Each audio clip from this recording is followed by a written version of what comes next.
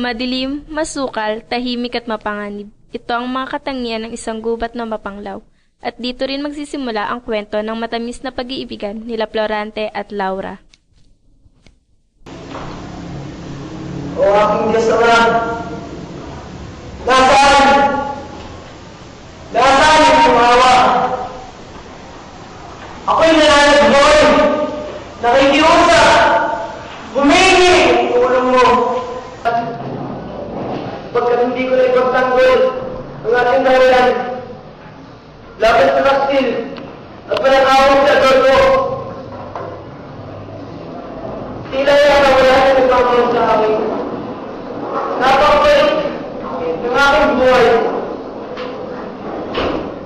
Ginagawa niya ako ng nangyayari sa iyo upang magawa lang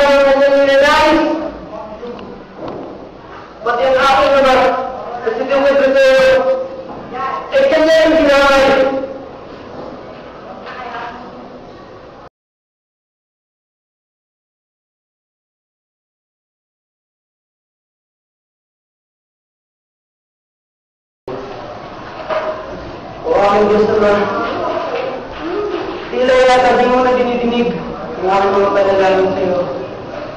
Sandaling nanahimik si Florante dahil sa sama ng loob. Kung gayon, Matapos manahimik ay muli siyang tumawag sa Panginoon. sino ang malalapitan? Sino may ko ng aking tulong?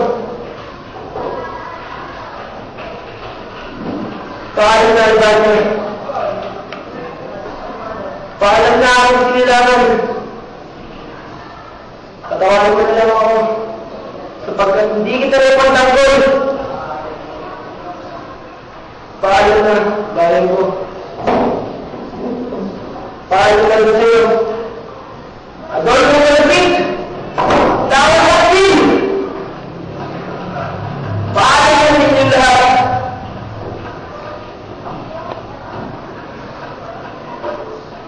Habang nagdudusa si Florante sa gubat, isang gererong morong nagngangalang Aladin ang dumating sa gubat na pagod na pagod at naghahanap ng pagpapahingahan.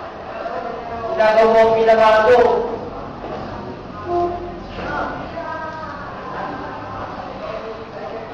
Habang si Aladin ay umiiyak at nagdudusa, ay may narinig siyang tinig sa kagubatan at pagkatapos ay may nakita siyang lalaki.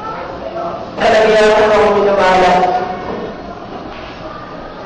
Pinapahirapan ako sa kamay ng isang taksil. Taksil ni Adolfo. Sa Adolfo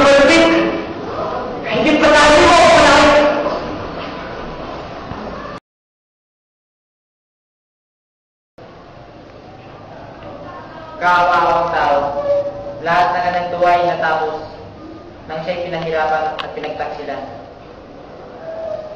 Pagkatapos na marinig ni Aladin si Florante, ay nagmuni siya ng isang malaking problema.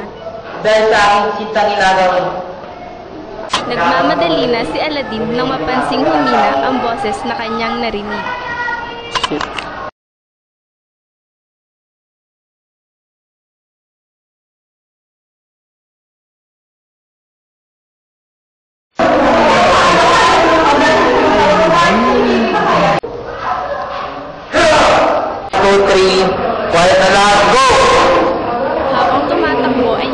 Hinahawi niya ang mga sagabal sa pamamagitan ng kanyang tulad.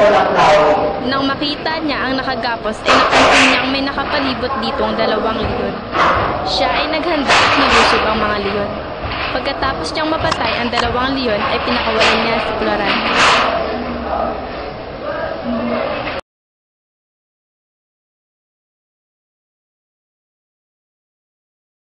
Pagkalipas ng ilang oras ay namulat si Florante at ako kasi dito. Nasa, nasa ako. At ikaw,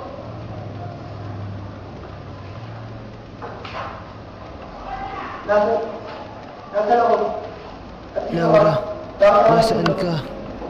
Tulungan mo akong makaalis dito.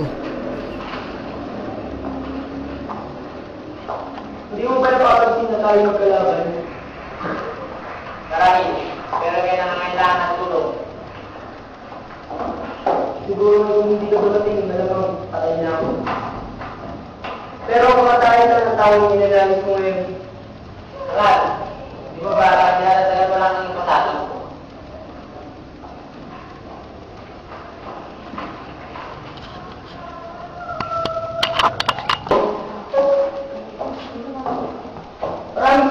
kaibigan. Kailangan mo mga kaibigan. Tayo magkwentuhan. Ano ba problema ba?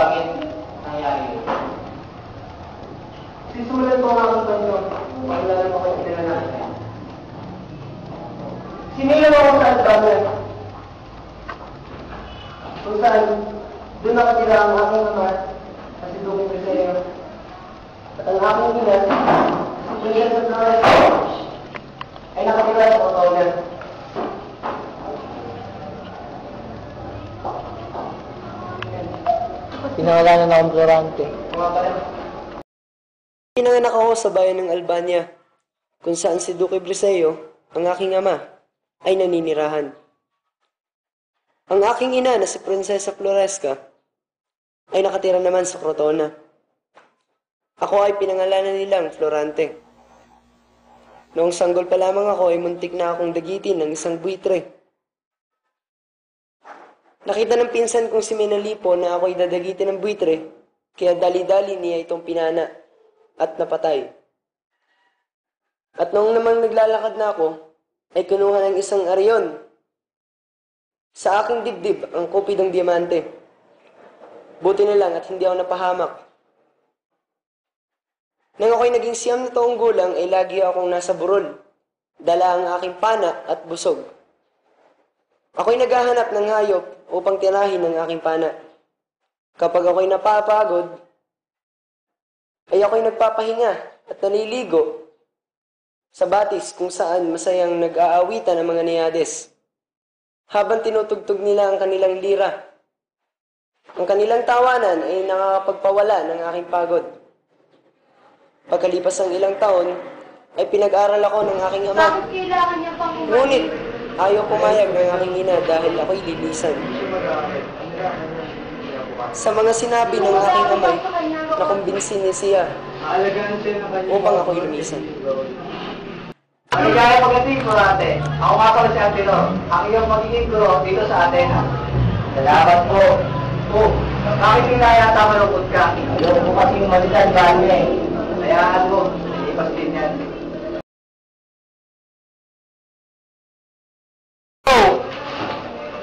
Binabati kita, Kurante. Pero ka tayo sa filosofiya, astrolohiya, at matematika. Maraming salamat po. Dito nagsimulang magalit si Adolfo dahil nasasapawan na siya ni Florante. Ang umagaw ng aking kapurian, dapat kang mamatay! Adolfo, hindi mo kaibangan. Nando!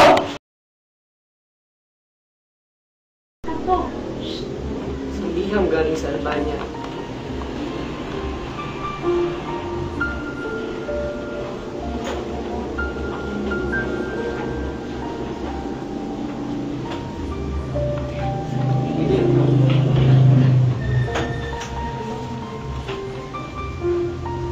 Ina!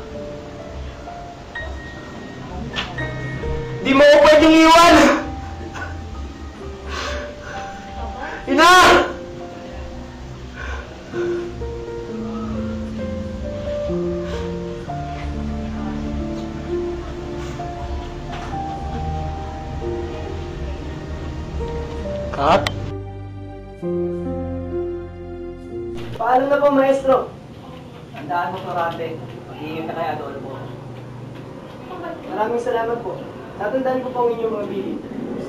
Ingat ka, Florante. Kapag kailangan mo ng tulong, ay nandito lang. Salamat, Leandro.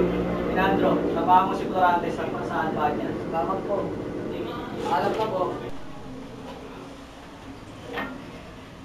Paalam na po.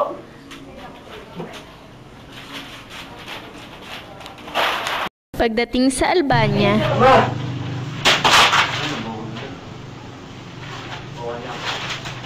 Biglang may dumating na isang mensahero. Gandang araw po. Ang bayan ng Katona ay humihingi ng tulong. Saan ninyo ang tulong namin? Kasi nga, Torante, pupunta tayo kanalang Bisaya. Opo.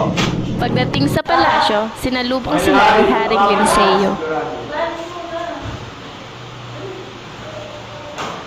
Ah, binata sa akin pagigilid, siya ang papalit sa aking tron. At samantala, pagmulon mo ang buka kong kortona, tulungan mo ang naminuno at doon ng karangalan. Nabalitaan ko, Antinor, mamalas ka ng pagsaya mula sa Atenas. Walang pagdududa na maalam mo ang katangian ng iyong ama. Maraming salamat sa papuri. Ginagawa mo po ang naranasan. Sinasilayan ni Florante si Laura sa hardin ng palasyo.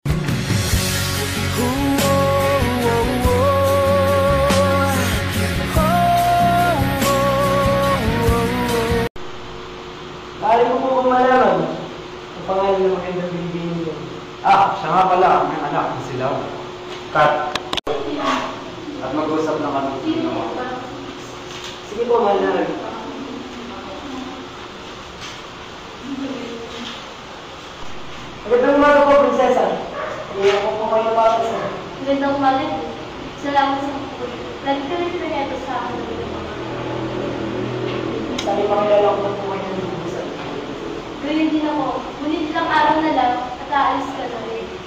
Oo, pala. Halika na lang. Pasok na tayo sa palasyo.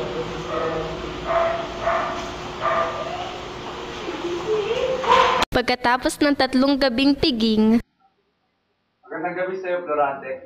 Mag- maganda ka na para sa laban bukas. Opo, mahal na rin. Nararangal ko po makatulong sa tayo ng mga tao. Handa ka na ba? Wala yung lalapay. Pero po ko po.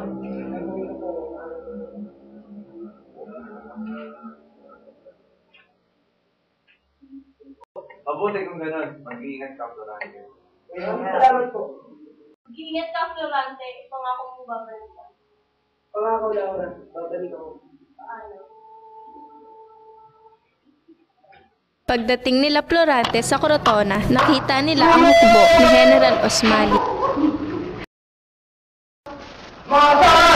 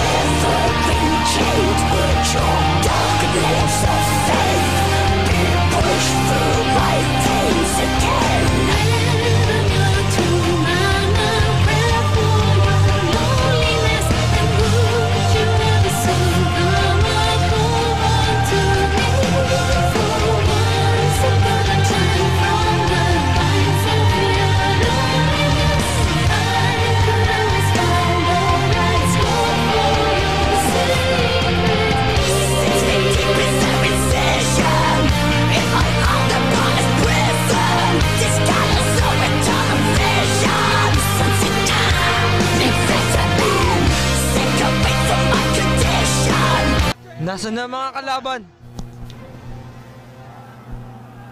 Wala nang kalaban pero nandiyan si Guash. Oo nga, nandyan nga. Takbo! Urong tayo mga kamalutan! Urong!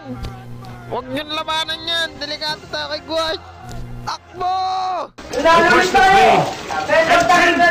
Sa pagbalik nila sa Albania ay may nakasalubong silang mga dibanyagan na may dalang isang Ano babae. ginagawa niyo dito? Ayan. Ako, hindi. Oo, nagdalang na pero may nakita nakita rin. Ako to, Florante. Si Laura. Nais ko nang malaman ang iyong kalagayan. Laura, Ibi. anong ginagawa mo rito? Kumusta ka na? Buti naman ako. Pero Florante, kailangan ko ang tulong mo. May bayang malapit dito na nagtatagal mga umorong lumapit sa aking ama. Paano kung may mangyari sa sa kanya? Paano ko?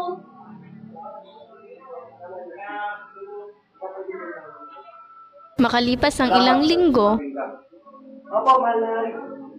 Ginagawa ko lang po, mga itumunin. umuwi si Florante sa Albania ng nag-iisa. Pagdating niya ay pinaligiran siya ng mga kawal. Dinala si Florante sa palasyo at nakita si Adolfo. Walang hiya ka! Anong ginawa mo kailangan ka? Huminahon ka. Maayos na ganyang kalagayan, ngunit di ka nalulungkot ko. Nagpaalam na ang iyong amang tutukoy sa'yo. Mga kawal! Alitin niyo ang taong to sa harapan ko. Walang hiya ka! Papatayin kita! Papatayin kita! Wala ka sa akin! At doon nagwakas ang pagsasalaysay ng buhay ni Florante. Samantala, sa kabilang bahagi ng kagubatan, Sumama ka sa akin! Anong gagawin mo sa akin? Saan ako dadalhin? Itigil mo yan!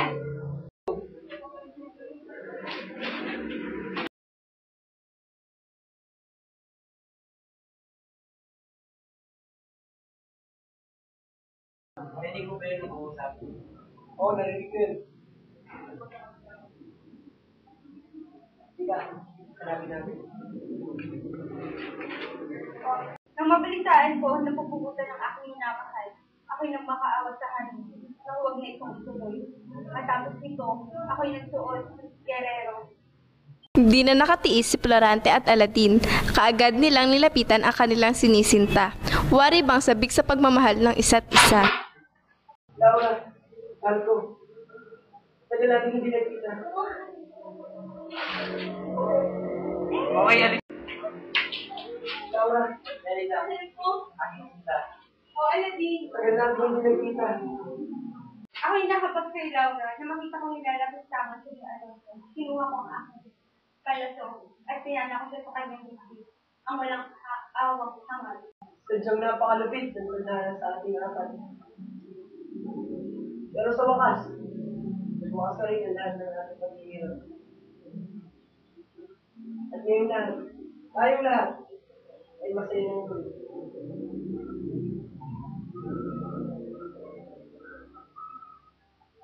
Dahil sa pagkamatay ni Haring Linceo at Duque Briseyo ay pinalitan sila ni Florante. Sa kanyang paghahari, nanumbalik ang dating katangian ng kaharian. Na mauli ang kapayapaan, umunlad muli at bumalik rin sa dati ang mga tao.